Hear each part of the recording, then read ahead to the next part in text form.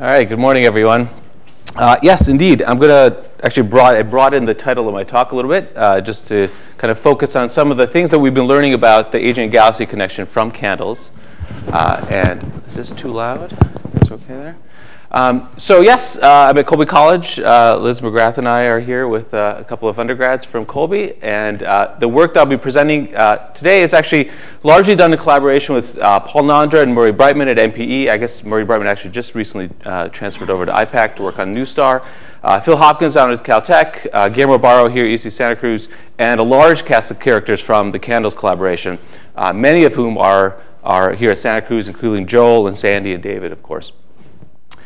So we've been trying to address uh, two primary questions uh, regarding AGN at Redshift 2 with the CANDELS uh, data. The first one is trying to understand what triggers black hole growth at a redshift of 2. So this is the epoch where uh, black hole growth is at its peak, and so we want to understand what are the physical mechanisms that are actually uh, uh, fueling this growth.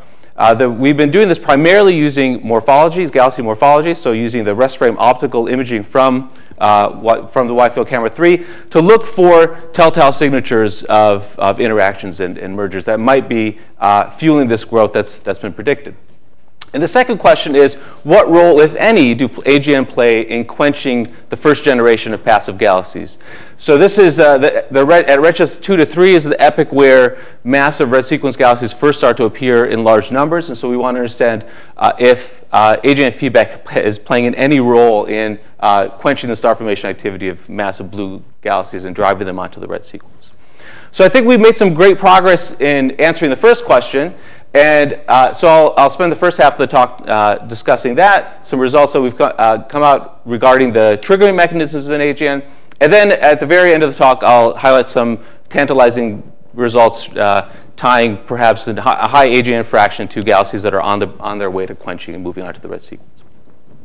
So let me start with uh, the triggering mechanisms of fueling modes.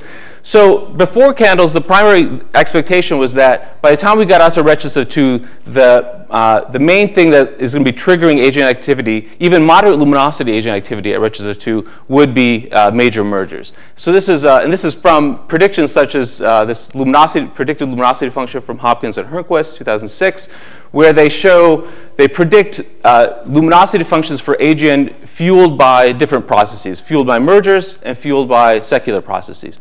And these two curves, these two luminosity functions are quite similar at redshift 0.1, but by the time you get out to redshift uh, 2, you find that the number density of AGN triggered by mergers is substantially greater than that triggered by uh, secular processes. So basically AGN fueled by stochastic means.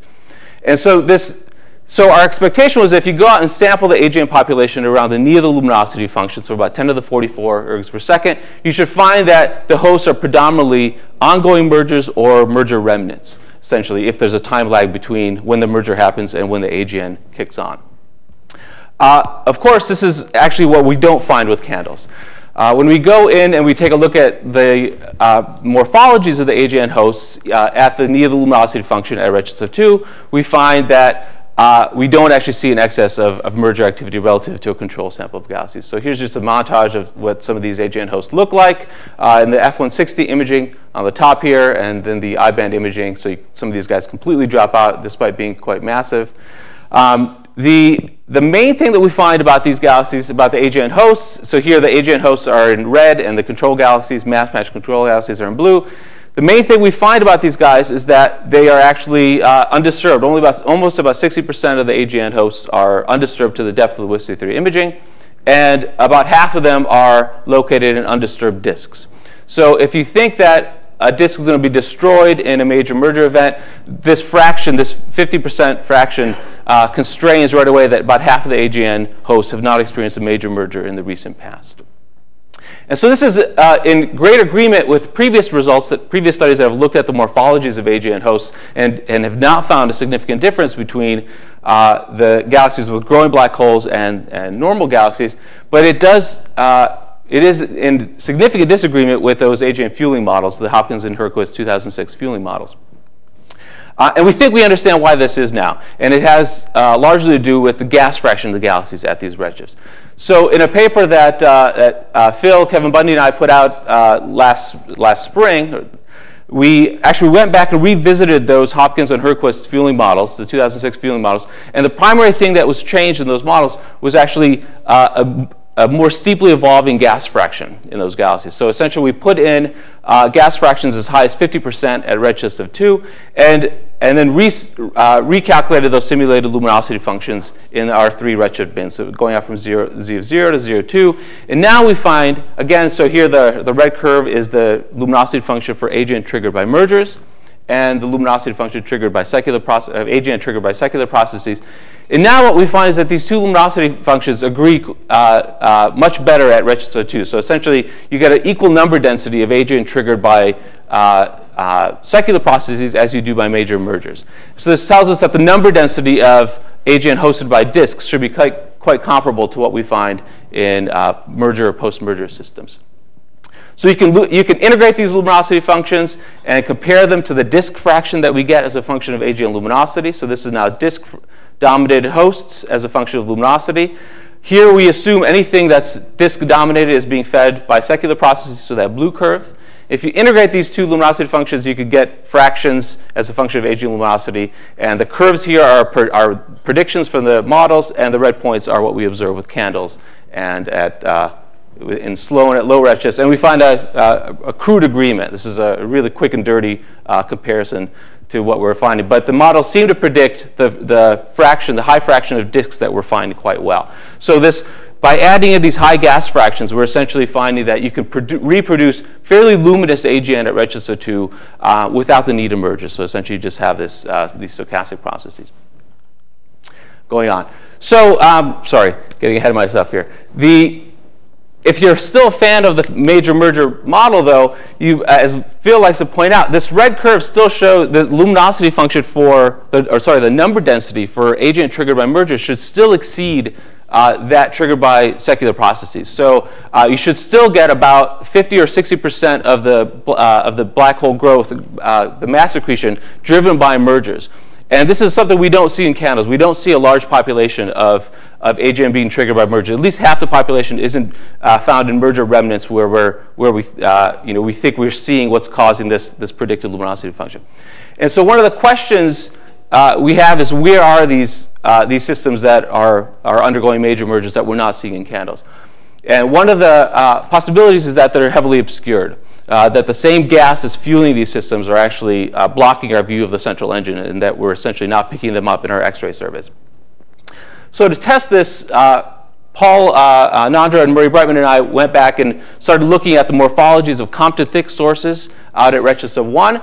The idea here is that even the most obscured AGN can be detected using uh, uh, X-rays as long as the geometry of the torus is, is just right. So in this case, what we've done is we've uh, gone into our, to the deep uh, Chandra data in the GOODS uh, fields and done spectral modeling to try to identify these Compton-thick uh, Compton-thick sources based on their X-ray spectra. The idea here is that if you have, even if your line of sight is blocked by a, a, a torus, you can actually have X-ray photons scattering off the backside of the torus, and they scatter to low energies and into your line of sight, and this changes the, the X-ray spectrum of the source. So this is a, a Compton-thick AGN at low redshift. Uh, the red line here is the intrinsic uh, power law spectrum from the AGN, and the black line here is the observed spectrum.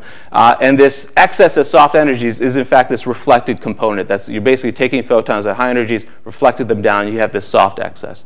So this is, uh, produces this reflection-dominated spectrum that uh, if you have deep Chandra observations, you can go in and actually uh, model your, uh, the spectrum of your AGN and try to look for this soft excess. This is exactly what we've done. So uh, Murray just put out a paper uh, where uh, he did the spectral modeling in the GOODS, in the GOODS South, EGS, and the Cosmos field. So here's uh, three examples of uh, these Compton-thick sources at Z of 1 that we've identified. The red here is, again, the intrinsic torus emission. The black uh, dashed line is the, the scattered emission, and then the black solid line is the best fit to the, to the, uh, to the points there. So uh, using the, the deep Chandra observations, we've actually gone in and identified a, a sample of about 100 of these sources out at redshift of 1. So this is, uh, this is now X-ray luminosity versus redshift. Uh, the color coding here for these guys is the uh, line of sight column density. So the, uh, the obscuring column density, anything that has a red color here is Compton thick, so essentially has a column density of NH of greater than 10 to the 24 uh, per centimeter squared. And so you can basically see that uh, so, sorry, this is absorption corrected luminosity. So we've essentially uh, corrected for the obscuring gas. And what happens is, as you can see, most of the Compton thick sources that we're finding are, are exceptionally luminous. So essentially, we're only picking up the most luminous guys since we can only detect the, the small fraction of their emission that's being scattered back into our line of sight. So we've identified 121 heavily obscured sources. So uh, we've made a cut at NH greater than 10 to the 23.5. And we've done a very simple test. We actually went out and took a look at their morphologies and compared them to less obscured AGN with similar uh, absorption corrected luminosities. So uh, in this case, we've, we have a control sample of uh, about 300 modelly obscured AGN and about 300 uh, unobscured AGN based on our spectral modeling, based on the, our best fit NH that come from uh, the spectral modeling. And again, all these guys are matched in X-ray luminosity to the luminosity of our heavily obscured Compton thick sources. And when we take a look at their morphologies, uh, we find something quite striking. The guys that are heavily obscured are substantially more disturbed than uh, their unobscured counterparts. So there, our thick sources are, on the top here. They're uh, more often in disks. They have uh, more clumpy structure. They're more asymmetric, or they just have something strange going on. The unobscured sources are relatively smooth. Uh, you can uh, occasionally see the point source coming through. Uh, but essentially, if you uh, apply the same visual classification scheme that we did, that we applied with CANDELS for the ZFT sources on these guys, what we find is that the fraction of uh, AGN hosts with uh, disturbed morphologies as a function of their obscuring column density uh, basically increases as you get to more heavily obscured sources. So we find a statistically significant excess of disturbed morphologies in our, in our Compton thick sources relative to our unobscured sources. Um, Uh, yeah, sorry. This is so these guys are at redshift one because we don't have enough WFC3 coverage for, yeah, for for the Compton thick study. Um, but uh, I just want to emphasize that this is at fixed luminosity, so this is not a luminosity effect. It's not that the Compton thick sources are are more are uh, are more heavily accreting relative to uh, their unobscured counterparts. This is basically just uh, an obscuration effect. So uh, we haven't matched in mass, but we have matched in obscuration corrected luminosity. Um, so this is just a, a summary of uh, the host morphologies versus obscuration. So this is uh, basically the, the blue points here are unobscured sources. The green points are, are uh, moderately obscured, and our red points are our Compton thick sources. So we see an increase in the disk fraction as a function of uh, obscuration, a decrease in the spheroid fraction, uh, a, a, significantly higher fraction of point sources, uh, as, as, to be expected for the unobscured sources, um, are the disturbed fraction is, increases. And even if we're more conservative about what we call an interaction or emergence, so we throw out things that just have asymmetric morphologies, we find a uh, still find a statistically significant about 2.7 sigma excess of of interactions and mergers in the Compton thick sources relative to our unobscured sources. So what this is telling us is that our observations are very consistent with an evolutionary scenario. This is, uh, you can't explain the difference in the morphologies in the disk fraction, for example, simply based on orientation, so a, a standard unification model. Uh, it looks like as we're probing more heavily obscured systems, we're actually probing further down an evolutionary sequence where our typical X-ray selected AGN are in these uh, are unobscured sources in these disks. So you get some fraction of unobscured and obscured sources based on orientation. As you start probing more heavily obscured sources, you're finding systems closer to this interaction uh, stage. And then at some point, the obscuration probably gets so great that we're just missing these systems that are heavily obscured. These are likely the infrared selected sources that are being detected by Jen Donley, uh, where she's finding that the morphology of the guys, even in the CANDELS data at ZEV2, are heavily disturbed. So it looks like our heavily obscured AGN, we're, we're kind of proposing that our heavily obscured AGN fit in this evolutionary sequence before the train wreck merger phase, but after the interaction has actually begun. This is why they predominantly look like disks and they predominantly have uh, disturbed morphologies. Our unobscured sources uh, have, uh, have, look essentially like spheroids, so we're, you know, we're looking at them after they've uh, come through this sequence. And uh, there's evidence that you know, these, these dust-reddened quasars might be this intermediate stage after the merger when the quasar is still going and the dust has been blown out. But We think the, the, our, our heavily obscured uh, Compton-thick sources detected in the X-rays are actually being found before this uh, merger stage. So this is all done at redshifts of 1, uh, simply because we don't have enough WFC3 coverage at a redshift of 2 to, to test whether this extends out or whether this actually gets amplified at redshift of 2. Uh, we expect it actually would be amplified at redshift of 2 based on uh, Phil's simulated uh, luminosity functions. And so uh, fortunately, uh, we just got a Cycle 22 program approved to image 33 Compton-thick sources at Z of 2 to follow up on this. So these guys, we have 25 orbits uh, to spend in GOODS South, EGS, and, and Cosmos. Uh, all of the pointings are, uh, have, are going to fall on the existing ACS imaging. So essentially means that we're going to be expanding uh, uh, slightly the CANDELS footprint. So this is a, uh, a, few of the pointings. So essentially each of these tiles has a Compton-thick source at, at the center.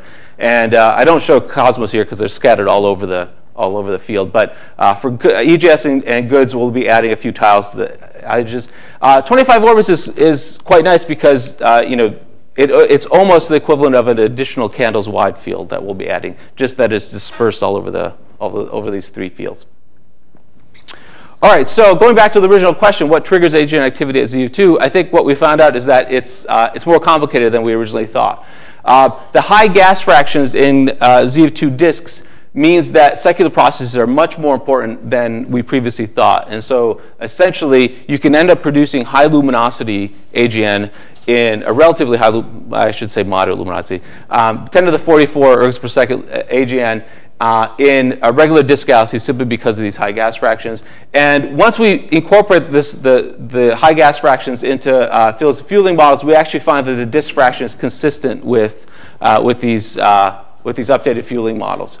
Um, couple that with the fact that it appears that these heavily obscured AGNs are more disturbed than their unobscured counterparts, and we're only picking up the tip of the iceberg because we're only picking up the most luminous sources that are scattering their, their uh, uh, X-ray photons back into our line of sight. You combine these two, and it looks like the fact that you have you know, many luminous AGN disks plus this incompleteness at high obscuration uh, may explain why we don't actually see this convincing AGN merger connection that, that models are still predicting, like Phil's models are still predicting, even at redshift of 2. Um, so I think it's probably just a combination of, of two of these things. As we start getting more, as we start looking at the morphologies of more of these heavily obscure sources, I think we can start to constrain what fraction of uh, how much of a problem we have, what fraction of these uh, merger-triggered AGN are still missing. Okay, so with that, let me switch to the second half of uh, the talk. And yeah, sure.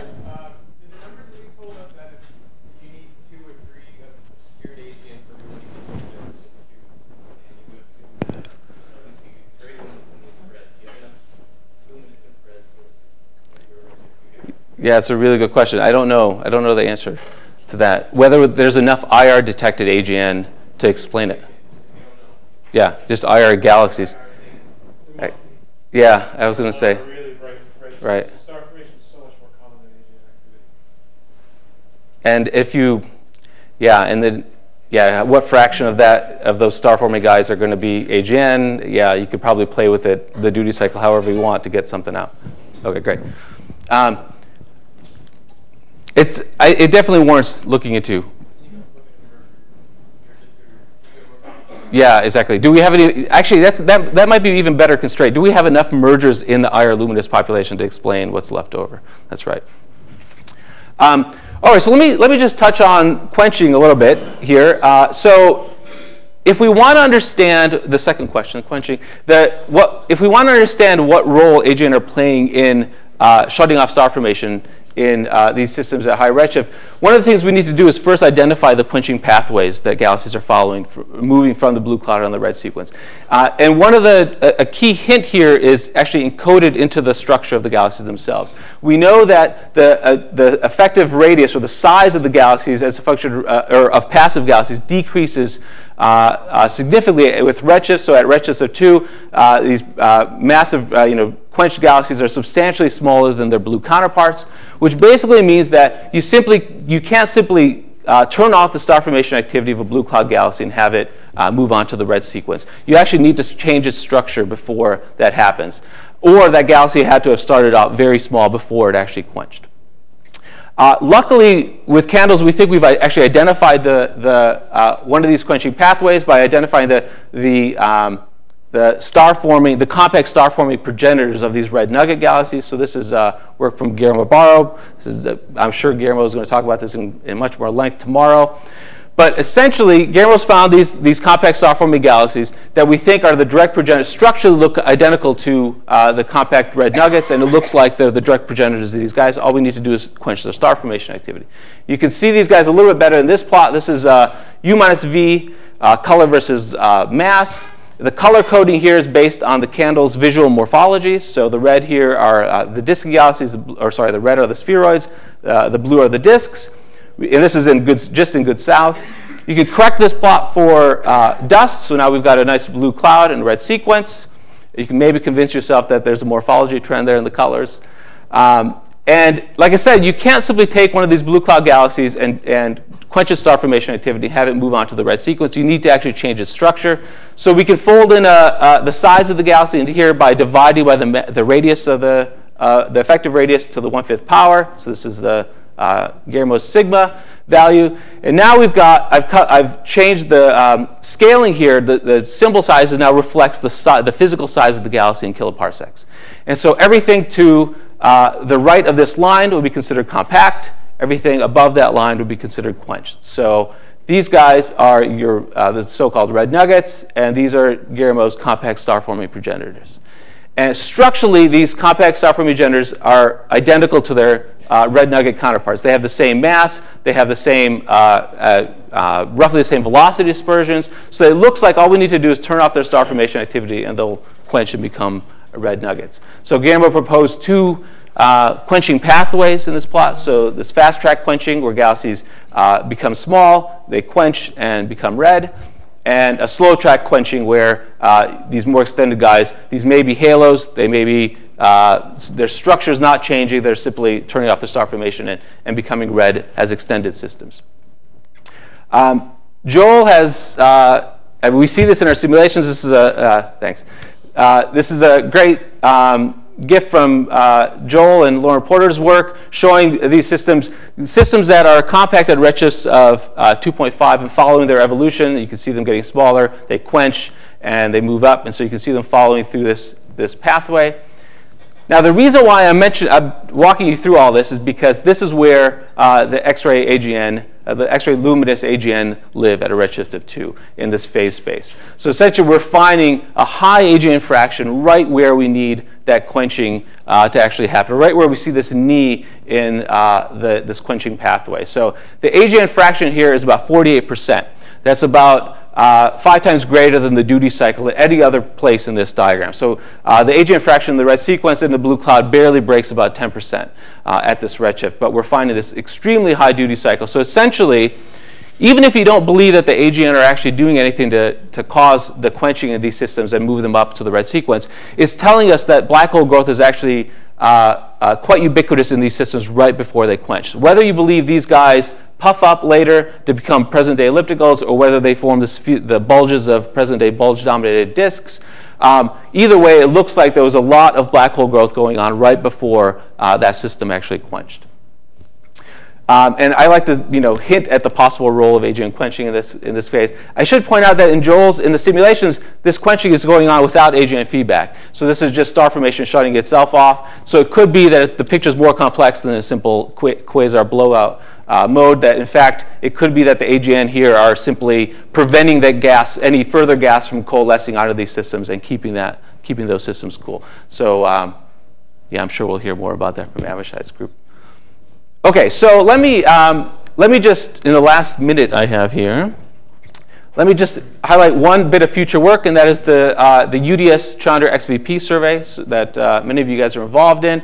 So one of the, uh, we just got approved a Cycle 16 Chandra uh, XVP project, so uh, Gunther Hasinger and I are, uh, are leading it. It's 25 ACIS I pointings covering 22 by 22 uh, arc minutes in the SEDS area. So uh, essentially, this is the CANDELS area here, the WFC 3 tiles.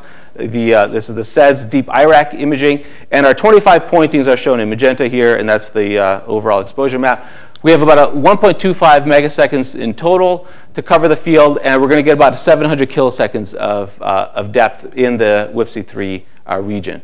And we're, we have a couple of science goals, uh, most related to what I've been talking about here is that we're actually going to use the deep observations to identify more of these Compton-thick AGNs selected by their X-ray spectra. So basically, we need photons to do this X-ray spectral modeling. And once we do that, we can basically start using the WFC3 imaging to take a look at uh, the morphology of these, these systems at, at high redshifts.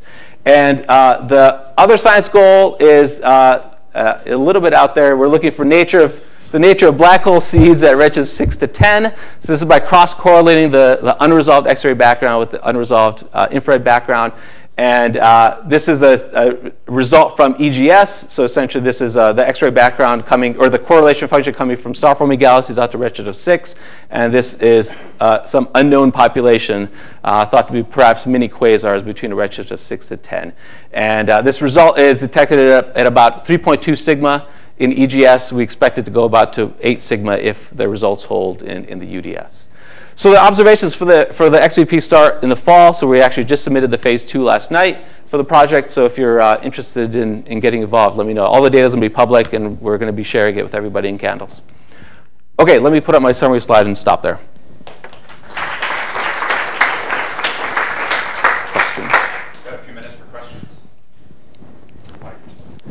Sure, go for it, Joe. Uh, well, thanks for showing that uh, nice yeah. of uh, the evolving. So those are the objects that go through the uh, right-hand bottom. In other words, the compact star forming. Uh, now, uh, in that earlier work by Lauren Porter, the first two papers are now on the arXiv and accepted for publication. the this would be the third paper, and Rachel Somerville has taken over uh, I've heard, yeah, that's right. and has left the field.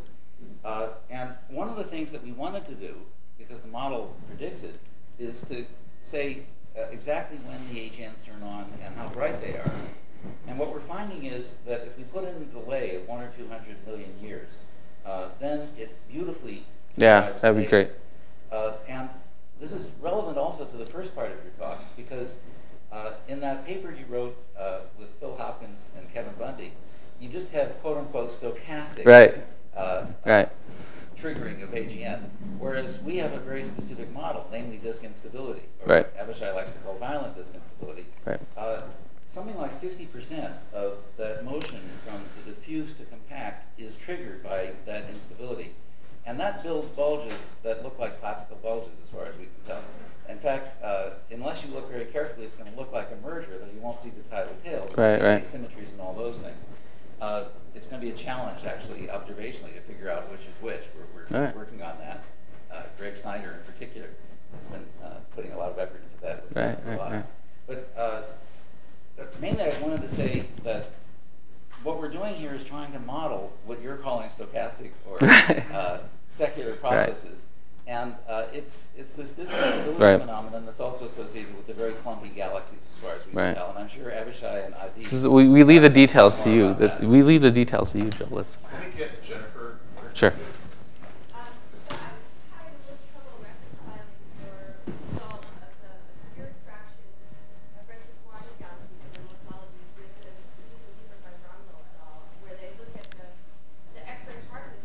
Yeah. Right, right, right. Yeah, the, the one, the, it, you have to be careful with it a little bit in that the, if you actually calculate the hardness ratios for those Compton thick sources, they're extremely soft because they have a soft excess. There, you, have got this. So if you don't actually model the spectrum right, the hardness ratio will will mess you up there. So in in those in Cyprian's work, uh, basically they didn't do any spectral modeling, so they just looked at the hardness ratios, and you you assume or you hope that basically you know you're you don't have a large Compton thick fraction that's contaminating your soft sources falling in there. Um, most of the soft sources, the hardness ratios are going to be unobscured, but. Um, yeah, so I think it'll be interesting when we extend this to ZIA2 to see what the morphologies are of the Compton thick sources. Right. Yeah, exactly. Exactly. So it could be that when we do this at ZIA2, we find out that all these guys in this compact region are the Compton thick sources. Yeah.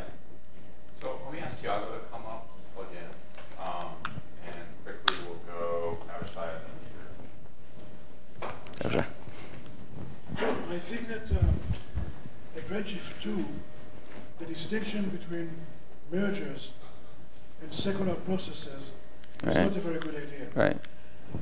There are no secular processes in Redshift 2, okay? In the sense there are no slow, nice processes. It's all of violent processes. Stuff comes in very intensely along those streams. It includes major mergers, many more minor mergers, and very intense clumpy streams. So there's this whole spectrum of stuff coming in very violently, and that's why I think it's much more healthy to think about it as, as a very intense process with a spectrum of, of objects coming in. And the major measures are just, you know, the tail, the tail of this distribution. hmm Um, so then you may find a more better agreement with what's really happening here. Right, right.